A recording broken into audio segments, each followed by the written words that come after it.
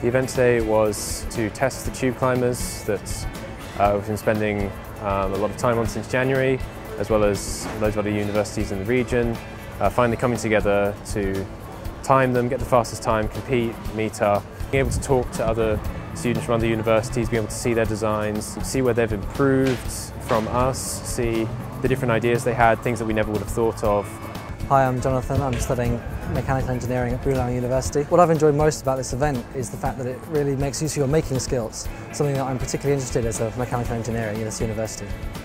Because of my experience where graduates came into industry and they didn't know how to apply the knowledge they gained at university. So I wanted to find a way of exposing the undergraduates to the real world of engineering and hence I introduced the Design Challenge.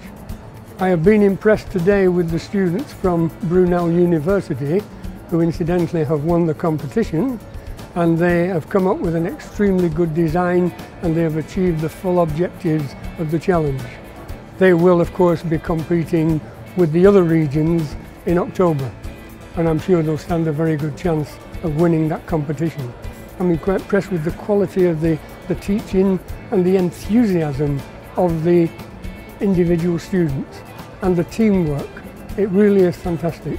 All the students on the year have the same experience of developing a real device for real testing and that is important for their professional development.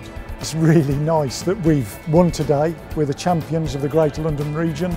So Brunel keeps the cup for the second year running, gives us something to aim for for next year. I'm Kush Vakara, this is Akash Joshi, Jonathan Amar. We just won the second year design challenge for IMechE.